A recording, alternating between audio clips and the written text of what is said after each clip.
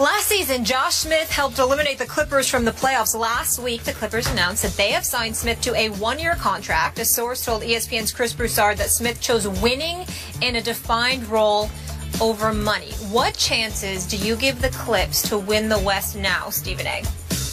Well, just a slightly better chance that originally existed before this deal happened. Um, I think that Josh Smith is a talent. I think it never hurts to add him to your squad. I also thought he bad, had a bad rap once he ultimately departed Detroit and left for Houston because the belief was that he was somebody that was difficult to work with, and that simply wasn't the case. Uh, to be quite honest with you, from what my sources tell me, uh, he thought that he was going to be playing a different role, uh, and that didn't turn out to be the case. And then they acted like he had a problem coming off the bench when he didn't have a problem coming off the bench. So, uh, whatever you believe in that regard, he goes to Houston. Houston helps them get to the uh, Western Conference Finals. His performance in that game six, overcoming a 19 point deficit and basically running the Clippers out of the building on a 49 to 15 run they still haven't recovered from. Uh, you know, this guy can make some noise. And remember, when they go small, as they tend to do in the West. Having Josh Smith on the court with a Blake Griffin may be something that's very, very helpful in the event that DeAndre Jordan can't be on the floor for you because of his free throw shooting. So I do think it helps, but do I think it's enough to offset what the Spurs have done or, or the Golden State Warriors with their championship? I don't believe so. Or the Houston Rockets, for that matter. Yes. It hurts Houston because he was, he was with Houston. Yeah.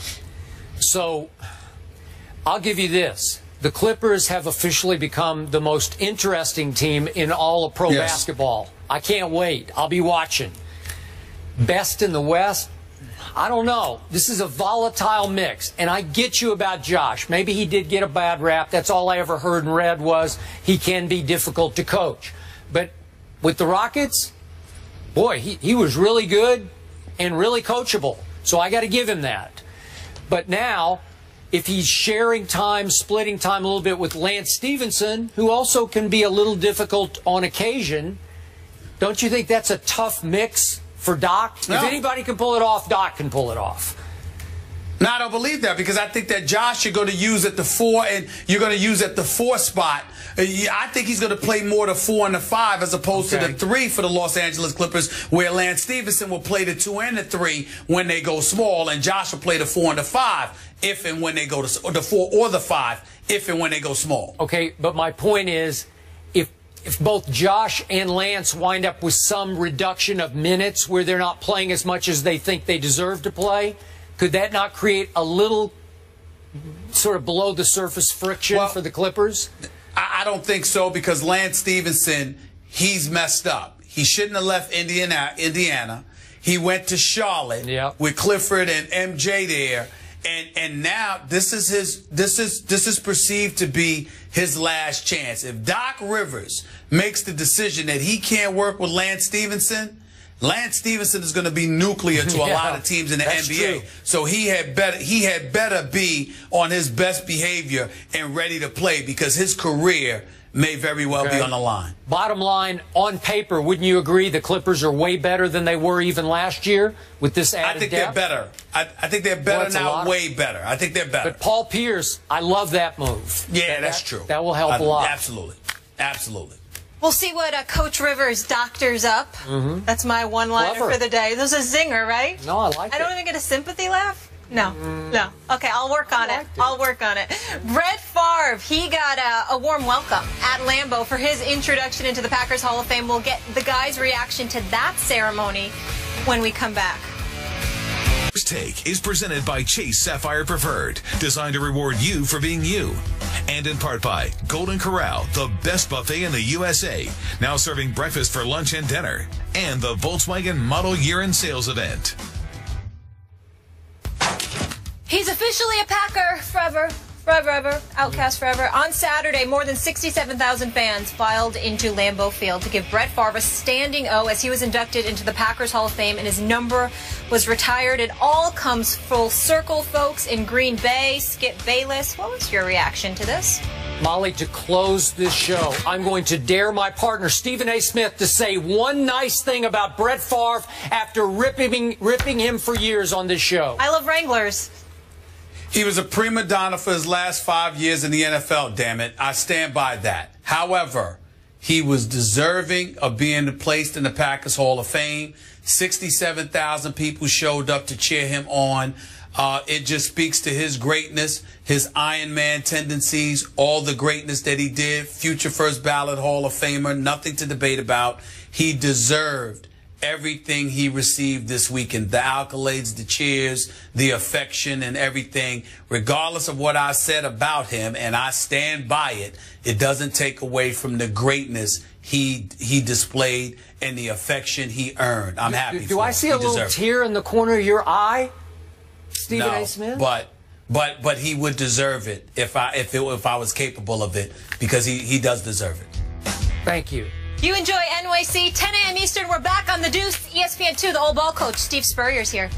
Blew up last night with more moves in the West. The Rockets agree to a deal for Nuggets point guard Ty Lawson, according to Mark Stein in multiple reports. Denver will acquire a package of non-guaranteed contracts and a projected future first-round pick. The Nuggets will also send a 2017 second-round pick to Houston with Lawson, who is currently in rehab in LA after his second DUI arrest this year. Gentlemen, what do we make of this trade? Uh, Mr. Smith, we'll start with you. Well, first of all, I think it's um, it's not a trade that I would have made at this moment in time, but it's strictly because of Lawson's issues with alcohol. Two DUI charges, uh, two DUI arrests rather in in the last six months. That's cause for concern because as Skip uh, can speak to very intimately, uh, you know, alcohol, you know, alcoholism is, a tough pill. And you just don't know how somebody's going to be able to overcome that, especially when you're 27 years of age, you're relatively young, obviously, you're in the NBA, you're making millions. Uh, Ty Lawson's going to have a tremendous battle ahead of him. I like the fact that it's in Houston uh, because of John Lucas and his clinic and the wonderful work that he's done from a rehab perspective with numerous athletes throughout uh, the the last uh, couple of decades. To be quite honest with you, so I applaud that. I know they're hoping that uh, Ty Lawson will work with him. Um, I believe he should, and if he does, I think that'll go a long way. From a basketball standpoint, he takes some of the ball handling pressure off of James Harden uh, who has to handle the ball entirely too much. It relegates Patrick Beverley back to the bench, which gives them a one-two punch at the point guard spot. We all know their weakest position was at the point guard position, and they were still in the Western Conference Finals last year. Uh, so I think this is a move that bodes very well from a basketball standpoint for the Houston Rockets. And Daryl Morey uh, willing to do this move uh, trading four players along with a conditional first, or lottery protected rather, first round pick a conditional, uh, conditional first round pick and the second round pick as well later on. I definitely think that he's done a good job.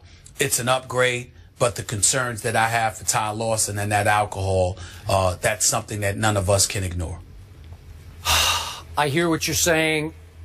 I appreciate what you said about me, my personal history with that disease. That said, and there's a big if attached to this trade, obviously, but if Ty Lawson can regain control of that issue that just sent him to rehab, what a great pickup this is for the Rockets.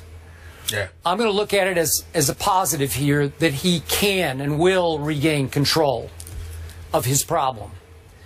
And I like your point about John Lucas being in the city of Houston.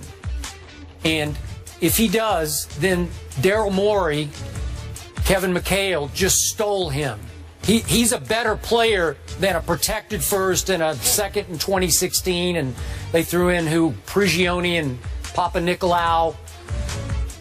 Man, it's still it's a steal for the Rockets, Stephen A. Because it's just what the doctor ordered or Dr. Phil ordered. Uh, it's perfect for them because, as you say, now that one-two punch at point guard, you got an offensive point guard and a defensive point guard, is pretty stout it, it takes them up another, not a big leap, but, a, but another level. Because as you say, all of a sudden James Harden can start to play off the ball a little more freely and, and with some confidence he can play off the ball because those two guys will be pretty good as a one-two punch. So I really like the pickup. Obviously, the big if is attached. And that's why they got this deal because the market had fallen flat for him, obviously, off his DUIs. But if, if Ty Lawson is Ty Lawson, the former 18th overall pick in the draft, the guy who two years ago averaged almost 10 assists a game. Wow. What a sweet pickup for this team. And all of a sudden, the, the West that is the best in all of our opinions just keeps getting a little stronger and a little stronger. We're going to talk about the Clippers later. They had Josh Smith. Good thing, bad thing, we'll, we'll debate that. But still, their talent level is getting stronger. San Antonio, with Kyle Anderson now being the MVP of the Summer League, is just getting stronger by the second. So ah, I, I really like this move for the Houston Rockets.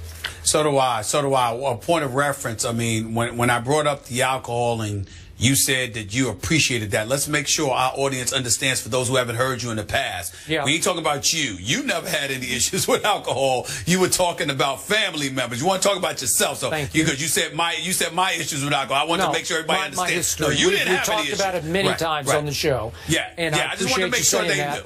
I've That's never right. had any issues with alcohol because Yes, my family had so many issues with alcohol Right. that that actually was the best thing that ever happened to me. So thank you for I saying that. I, Yeah. I just wanted to make sure of mm-hmm. that. Number two, number two, Ty Lawson's going to help them pace wise too, because he pushes the ball up. He creates tempo. Not only that, he can get to the hole at will, and he can hit the occasional jump shot. Well, he shot about 43% from the field.